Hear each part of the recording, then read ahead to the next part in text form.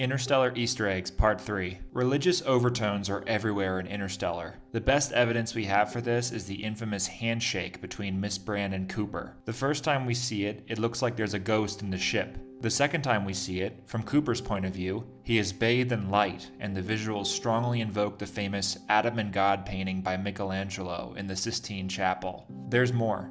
Dr. Mann has 11 followers, like Jesus. He gets resurrected, like Jesus and he mentions the laws of nature prohibit a naked singularity. The laws of nature prohibit a naked singularity. Naked, like Adam and Eve in the garden. Layer on top of that the heavy use of organs in this movie, and yes, there's very much a connection between this movie and God, whether it was intentional or not.